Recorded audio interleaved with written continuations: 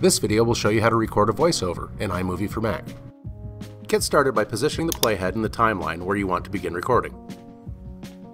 Then, click the microphone button below the viewer. Click the Options button and make sure that the built-in microphone is selected, unless you're using an external microphone. Now you'll want to say a few lines and adjust your input level. You want to make sure that the audio meter stays green, even when you're speaking your loudest. I also like to mute the sound from other clips while I'm recording, so I make sure this box is checked. When you're ready, click the record button.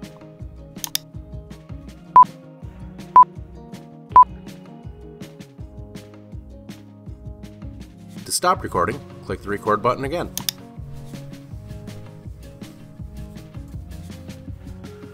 And when you're finished recording, click Done over here.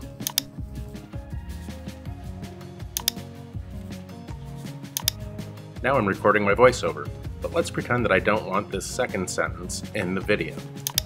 You can cut and clip voiceover recordings just like you trim and split video clips. Now I'm recording my voiceover,